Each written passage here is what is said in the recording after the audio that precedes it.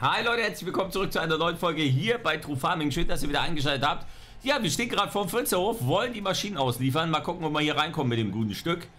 Äh, der Herr Koslowski tut äh, Gott sei Dank gerade für uns mit Wandblinganlage die Straße ein bisschen blockieren. Da können wir jetzt hier in Ruhe wenden und dingsen. Wir müssen nur aufpassen, der läuft natürlich hinten brutal nach. Aber das sieht ganz gut aus. Soll ich Sie einweisen, Manus? Geht das? Es sollte funktionieren, der lenkt ja richtig gut mit. Der Fiedler von Sie? Ich. Okay. Das ist nur die Frage, wir müssen aufpassen, wir dürfen nicht zu sehr links fahren, weil der natürlich beim Einlenken hinten auch ausschert. Der war doch hoflos. So, gut. Ach, wieder speichern, ich kotze hier ab, ey. Ohne Witz, das geht mir so auf den Piss. Mm, so. Okay, dann würde ich sagen, hier ist ein guter Platz, um die Geräte abzuladen. Das sollte passen. Dieses Speichern von dem Server regt mich so auf. Fertig jetzt. Ja, so, perfekt. Gut, dann einmal... Ups. Das gute Stück ab. Fahren wir den LKW beiseite und dann soll das passen. Guten Tag. Hallo. Hallo. Interessant. Hallo. Eine Lieferung. Wo kommen die denn jetzt schon? Hä? Wann soll Also, die denn kommen? Eigentlich noch gar nicht. Deswegen, äh, ja, das wird mir auch klar, wo die 500.000 hin sind. Alles gut dann. Äh, weiß ich nicht, keine Ahnung. Der Harald hat gesagt, irgendwie bestellt und soll abgeholt werden und gemacht werden und geliefert werden und tralala und ich habe keine Ahnung. Ich Aber wahrscheinlich nicht. könnte das dann hinkommen, ja. Der hatte nur einen Zettel hingelegt, dass die Maschinen da sind und dass die hier hin sollen. Achso, ja gut, dann kamen die eher an. Wir hatten eigentlich eine anderen äh, Abmachung, aber okay, passt. Was passt. war. Achso, okay. Naja, gut. Äh, Moment. 160. Was ist das denn überhaupt? Äh, Das würde ich auch gerne wissen. Oh, Das Mann. erkläre ich, erklär ich euch gleich. Und Gott, warum hat er eine? Säge in der Hand? Muss ich jetzt Angst haben? 360. Äh, du nicht, nein. Er telefoniert gerade. Okay. Oh oh. Empfangsverstärker. Okay, ähm, gut, perfekt. Also wie gesagt, das sind die zwei neuen Geräte. Moment. So, Vorsicht, das ist Hightech. Hightech, wie Sie es noch nie gesehen haben. Ah, vollautomatische autonome Feldgruber. Also Chef, der, der Motor klingt wie vom Zedor. Uralt Technik. Der macht wie den Schmetterling. So. Okay, gut. Was hast du gekauft? Ja, Nicht mit der weiß ich, das weiß er Arbeit. wahrscheinlich selber nicht. Ähm, hat das gar nicht abgesprochen? Wir wissen von nix. Das ist der Nee, neueste also- Schrei, aber wisst ihr, was der riesengroße Vorteil ist? Er kann euch jetzt Was? entlassen. die arbeiten Ja, nämlich automatisch. Nee. Mit drei Meter Arbeitsbreite. Das ist doch egal, die arbeiten aber 24 Stunden. Okay. Ja, gut. Mhm. Ja, Urlaub. Gustav, oder? Ja. Nein, keine Ahnung, was der Herr. Friesi vorhat. Das weiß ich nicht. Aber das sind auf jeden Fall die neuen Maschinen. Und äh, die sind tatsächlich autonom. Das heißt, die arbeiten selbstständig auf dem Feld. Äh, mit neuester GPS und äh, Funktechnologie und ach, alles, was dazugehört. Ne, da haben sie ein kilometerdickes Handbuch dabei. Äh, da können Ja. sie sich mal reinfuchsen. Hat Harry, mir schon, hat, hat, kann ja der Harry, Chef dann machen. hat Harry mir schon alles ausführlich erklärt. Der war hier bei mir am Hof. Ach, der Okay. hat schon alles erklärt. Ja, der kam mit einem Vorführer vorbei äh, auf dem Feld. Wir haben da gemacht und getan. Ich weiß, wie das funktioniert. Äh, dann würde ich noch. Okay, ganz kurz. Äh, dann müssen wir noch das andere klären. Hm, da ist äh, 300. So, eine Sekunde. Ähm, Miguel sind da auch Sämaschinen dazu und Erntemaschinen. So, Herr Fritze, Ja. Äh, dann wird man nochmal 237.600 bekommen. Ja. Und zwar sind das einmal Oh. die Steuern und die Beteiligung, ja? Mhm. Herr Bürgermeister, müssen ja auch angemeldet werden, weil die autonom sind, oder nicht, dass so wie bei anderen Geschäften hier in Schwarzing da irgendwas nicht angemeldet wird. Achso, nee, warte ganz kurz, das stimmt nicht. Das stimmt nicht, das stimmt nicht. Vergiss, was ich gesagt habe. Wir würden noch mal bekommen. Moment. Äh, Moment, Moment, Moment. Äh, nicht, der- ich wollte jetzt nichts Falsches erzählen. Das war nämlich ein bisschen, ich kam mir selber ein bisschen viel vor, wenn ich ehrlich bin. Aber du hast gar nicht gesagt, du hättest wahrscheinlich einfach bezahlt. 176.880. Ich glaube, ich glaub, du solltest da nochmal mit Harry reden. Warum? Weil äh, wir da eigentlich einen Deal ausgemacht haben, dass ich die äh, Prozente nicht bezahlen muss. Die, die, äh, Warum? äh, weiß ich nicht. Das hat, ähm, den Deal hat er mir gemacht, weil ich zwei genommen habe und hin und her. Ist jetzt kein, ist jetzt kein Flachs, ruf ihn vorher an. Ist wirklich so. Welche Flitterwochen? Das ist aber sehr ungewöhnlich.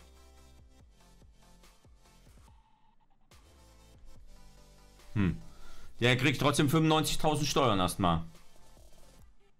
Nee, warte mal, dann kläre ich das erstmal, dann kläre ich das erstmal äh, ab. Also das ist. Ja, klär das, klär das aber das ab. kann ich mir beim besten Willen nicht vorstellen, weil warum sollen wir was ohne Prozente verkaufen? Das wäre ja komplett. Das hat er, hat er so zu mir gesagt. Ja gut, aber äh, Ich weiß nur nicht, welche Prozente der da jetzt meinte. Er sagte nur, äh, äh, Fritz, dann brauchst du die Prozente nicht bezahlen. Und ich dachte, ja, gut. Okay, Das ja, ist wirklich dann, sehr komisch. dann klär, ja, dann klär ich Er das mit klärt, dem. klärt ab. das vorher ab. Von mir aus nimmt sie vorher nochmal mit. Das, also ich will euch jetzt hier nicht verarschen oder so. Also Nein. nicht. Äh, was ist denn jetzt? Äh, sehen wir die Dinger jetzt mal im Einsatz? Nee, wahrscheinlich nicht, weil der Boden gefroren ist. Genau. Richtig. Scheiße, gut, dann verpissen wir uns wieder. Gut, dann ist das ja Wenn- wenn ausgeliefert du, worden. Wenn du, wenn du aber möchtest und der Boden ist nicht mehr gefroren und wir fangen an, kann ich dich gerne dazu holen, wenn du das mal sehen möchtest. Ja, natürlich, das wäre super. Müssen mal- die bei der Stadt angemeldet werden oder? Ja, natürlich. Du bist wie Liv. Ja, nicht, dass die beim Land Ja, und nee. dann plötzlich die Steuern nachgezahlt da werden. Überleg das nochmal. Ich erzähl dir jetzt mal eine Story. Wir waren letztens einkaufen. Meine Freundin, äh, mein, äh, äh, letztens sage ich, äh, vor Jahren einkaufen. Meine äh, Verlobte gibt, äh, verheiratete Frau gibt 50 Euro ab, kriegt 60 wieder und sagt, ich habe ihm doch schon 50 gegeben, wie kann ich 60 wiederkriegen? Man hält die Schnauze, nimmt die 60 und geht! Ja, wenn du das meinst, Ernst, dann die ist doch nicht mehr Steuernachzahlung unser kommen, wir. Land Wir haben wir haben das frei. Aber sowas wir- würde ich, aber sowas würde ich zum Beispiel auch nie machen. Und, und, und wie lange hat es beim Landhandel gedauert, bis das rauskommt? Die arme Kasse. Oh mein Gott. Du wolltest Es mich mit ja den nix. Prozenten jetzt verscheißern? Nein, wollte ich nicht. Aha. Was hat beim Landhandel gedauert? Ach so, du meinst mit den Dings, ja. Ähm, Äh, nichtsdestotrotz hätte ich das aber auch nicht gemacht, weil die Kassiererin im Zweifel das Geld ja dann drauflegen muss. Und die hat ja sowieso jetzt nicht das üppige Gehalt. Bei Lidl verdient man gut, habe ich gehört. Als Festangestellte, ja. Ja. Wer ist das noch? Gut, äh, Das ist auch nichtsdestotrotz, leider wahr. Herr äh, Koslowski und Herr Gutmann, wenn kann ich Sie nochmal Ja. am Landhandel später sprechen? Natürlich. Wir haben ja jetzt Urlaub, wie ich gehört habe. Ach so, ja gut, dann könnt ihr mal einen kleinen Oh, Gustav. Urlaubsausflug machen. Wie? Fritz. Der hat hier irgendwas von. Ja, Chef. mit Miguel mit. Geh einfach mit jetzt. Geh. Miguel, behalt ihn, ey. Was den soll ich jetzt echt soll ich sie behalten? Weil die. Aber Gustav, du bist ja kein Gegenstand, du bist ja ein Mensch. Ja, das, das habe ich mir schon lange abgewöhnt. Was Aber jetzt? fahren Das die Dinger Gegenstand jetzt sein oder das Menschsein? Wirklich voll Mensch sein. autonom? Okay. Es tut mir leid, Gustav. Ja, das wäre mal das interessant zu wissen, ne? Äh, die fahren tatsächlich autonom, ja. Das ist so. Also die Ja, aber- äh, stellt man aufs Feld ein, die messen das quasi das aus, das Feld, äh, mit den GPS-Daten und so weiter. Und dann machen die da komplett. Aber alles, braucht äh, man da nicht trotzdem noch allein. Fachleute, die das dann überwachen? Ja, also man braucht natürlich dann anderes Personal. Man braucht kein Personal, was auf dem Träger sitzt und fährt. Ne? Aber man braucht natürlich Personal, die sich mit der Technik auskennt. Ja, siehst du, dann hat Gustav doch keinen Urlaub, macht da eine Fortbildung und dann ist er der Fachmann. Ja gut, aber man Dinger. braucht natürlich bedeutend weniger Personal, weil einer kann ja mehrere solcher Maschinen äh, äh, äh, instand halten. Ja. Braucht man ja nicht für jeden einen, ne? Also, ja, aber äh, das kennt ja die. Das weiß ich ja nicht. Gut, ähm, dann meine Herren, wir sehen uns ja gleich nochmal am Landhandel, ja? Das ist super. Jo. Jo, tschüss. Achso, äh, Herr Wagner? Herr Schmidt? Ja. Ja. Äh, wenn Sie möchten, können Sie sich ja von dem Fritzl auch mal hier den Hof zeigen lassen. Ich glaube, Sie waren ja hier, sind ja hier das erste Mal, ne? Äh, ja. Ja, Also ich ich war, war vor uns schon mal da, aber ich kann mir trotzdem mal zeigen lassen. Genau, dann zeigt Ihnen bestimmt der Fritzl mal hier, den Hof hier. Thomas, ich fahre So, nochmal Richtung auf Ehrlichhof, ne? Alles klar, Okay. Junge. auf geht's. Alles klar. Warum? Jo. Till, was, Was, willst warum? du am Ehrlichhof?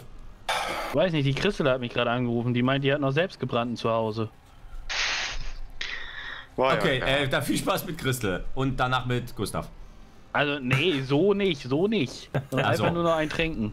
Ja, ach so, du machst nur, ach so, du machst nur die richtigen äh, äh, an, die so richtig liiert sind, nicht die so halb liiert sind. So eine offene Beziehung, die, die sind nichts für dich, ne? Du willst richtig äh, den Zerstörer machen, oder? Ja, aber die sind doch auch verlobt. Okay. Äh, äh, Gustav und Ernst, ist alles in Ordnung mit eurem Chef?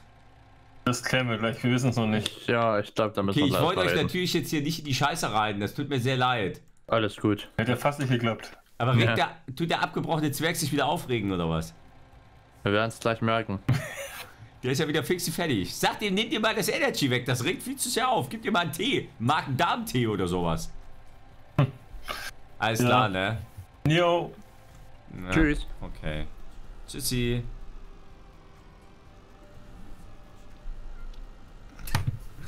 Oh nee, ist das immer herrlich, ey. Wie der sich aufregt. Oh, da fahr ich doch jetzt hier an das Auto. Das sehe ich doch jetzt von hier. Nee, das wird nichts. Jupp. Ja, Warum, warum regt der sich denn immer so auf? Wie kann man denn nur so, wie kann man denn nur so ein emotionaler Mensch sein? ich weiß es nicht. Ich meine, ich reg mich ja auch immer auf, aber ich reg mich auch schnell wieder ab. Das stimmt. Ähm, fahren wir nochmal runter zum Händler, den Anhänger wegbringen? Ja, das können wir machen, Minuten? tatsächlich, ja. Ach, Jupp, Das wäre bin, super, dann kannst du mich nämlich auch da rauslassen. Hä, warum? Achso, du bist Na, ein Auto ich- dort. Oder Traktor. Ja, Okay. Gut, äh, Jupp, ich bin, möchte einfach mal sagen, ich bin so froh, dass du am Landhandel bist. Ja, ich weiß dich sehr, sehr zu schätzen. dir bleibt ja auch nichts anderes übrig.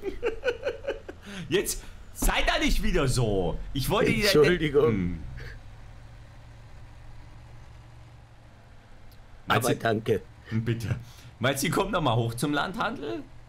Der Gustav und der, der Ernst? Ich, äh, tatsächlich denke ich schon. Soll ich dir was sagen, wenn wir die als Mitarbeiter gewinnen würden? Das sind, also guck mal, wie die sich da unten behandeln lassen. Die würden am Landhandel das Leben auf Erden haben. Und soll ich dir was sagen?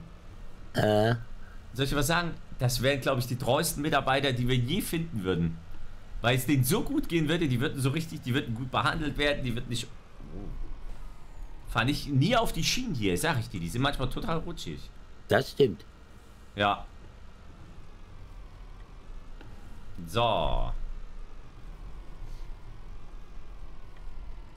Aber äh, ganz ehrlich, mit diesen, mit diesen Maschinen, erstens, was macht Harald aus, von dem wir nichts wissen?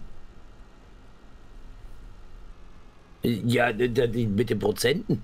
Ja, erstens mit dem Prozent. Warte, Miguel, warte, Miguel, du musst mich hier rauslassen. Da hat sie recht. Das hat sie gesagt. Warte, dann machen wir einen Funk. Wo war. Ach, da. So, bitteschön.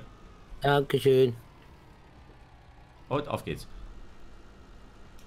Ja, erstens mit den Prozenten, was er da macht und tut. Und zweitens ähm, auch mit diesen Maschinen jetzt. Äh, äh, mit der Auslieferung, das scheint ja noch gar nicht dran gewesen zu sein oder so. Ich habe keine Ahnung. Ich, ich wusste generell überhaupt nichts von dem Geschäft. Ja, also ich wusste halt auch gar nichts. Also ich habe nur den Zettel gelesen oben, da Ja, steht super. drauf, die Maschinen stehen da und die müssen zum Fritzel. Ja, ganz großes Kino. Mehr wusste ich jetzt auch noch nicht. Das ist ja blöd. Allerdings. Vor allem für uns beide jetzt. Ja. ja, jetzt haben wir das da ausgeliefert. Jetzt haben wir da vielleicht wieder Stress gemacht, den wir gar nicht äh, machen wollten. Äh, oder verursacht, den wir gar nicht machen wollten, weil der Kleine sich wieder aufregt wie ein großer. Richtig. Na super. Na gut, äh, naja, witzig war es ja trotzdem, fand ich. So, Äh, Das stimmt allemal. da musste ich ja rein. Ja. Gott, ey, wieder Skillpunkte 10 von 10 heute. Es ist unglaublich. Das ist der absolute Wahnsinn. Miguel, wenn es einer drauf hat, dann du. Auf jeden Fall. Ah, gut gemacht. Oh, Bella, mein kleine fleißige Biene, ey. Woo. Ah, da kann ich jetzt den Dings noch runterfahren. Das ist super. Oh, warte mal, da kann ich ja Bella gleich fragen, ob die mich abholen würde. Du Bella, ich habe mal eine Frage. Wenn ich den Schneedings-Schieber runterfahre, würdest du mich dann wieder einsammeln? Womit denn? Ja, äh, du sitzt ja gerade drin. Das ist ein Stadtfahrzeug, das werde ich jetzt zur Stadt runterbringen. Ja, dann, äh, pass auf. Okay, mein Herzblatt, wir müssen uns ein Auto kaufen. Welches wollen wir uns kaufen? Ist mir egal. Du darfst jetzt raussuchen. Du bist die Entscheiderin. Nein. You are my star in the sky for me. And you're so beautiful. I have a little present for you. Please, stop. You can start again later. Durchstecke, durchstecke, durchstecke, durchstecke, Pflaumenbaum. Durchstecke, durchstecke, durchstecke, durchstecke, Pflaumenbaum. Diese Frau scheint auf der ständigen Flucht von mir zu sein. Es ist absolut nicht normal. Das gibt's ja gar nicht. Es kann ja nicht sein.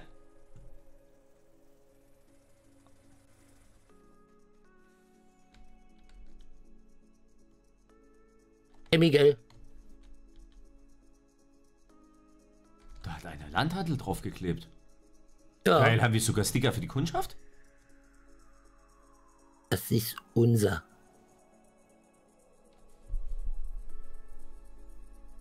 Hat Harry gekauft, soll ich abholen.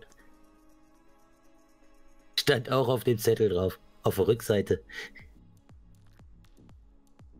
Zwinker. Unfassbar. Unfassbar. Ich find's schick. Unfassbar. Ja gut, äh, da können wir ja runterfahren und können das Fahrzeug abgeben, oder? Was für ein Fahrzeug. Äh, den Dings hier, den Streuer. Ach so, Ja, der kannst du mich gleich noch mit hochnehmen wieder. Ey, das ja ist... klar. Sag mal, hat das ja auch Harald besorgt, das Fahrzeug? Ja, stand auf dem Zettel, auf der Oh, nee, Rückseite. ey, ganz ehrlich, mit dem müssen wir reden, wenn der aus Flitterwochen wieder da ist. Das sag ich dir aber. Kann ja wohl nicht wahr sein. So, dann fahren wir... Oh Gott. 900 Grad Einschlagwinkel ist echt manchmal ganz schön gefährlich für die Arme. Ah ja. Ja, hallo? Ja, ich bin's nochmal, Till. Moin. Hallo Äh. Till, das freut mich ja sehr.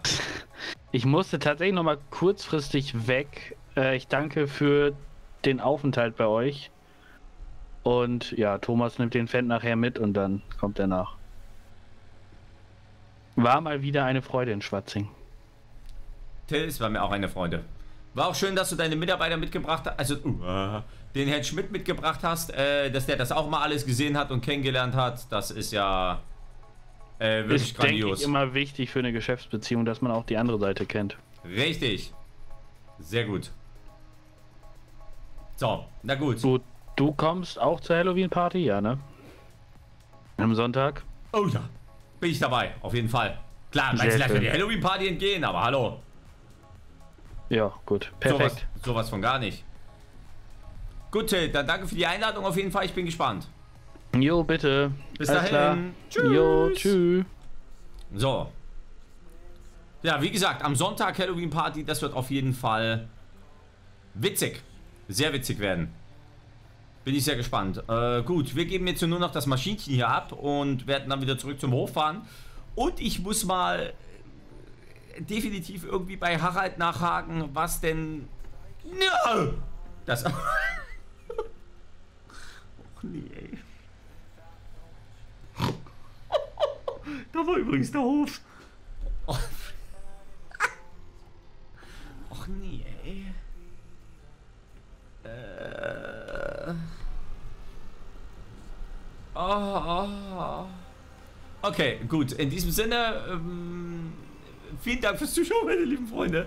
Wir sehen uns, wie gesagt, äh, in der nächsten Folge wieder. Da müssen wir mit auf jeden Fall mal klären, was der Harald hier für Geschäfte macht.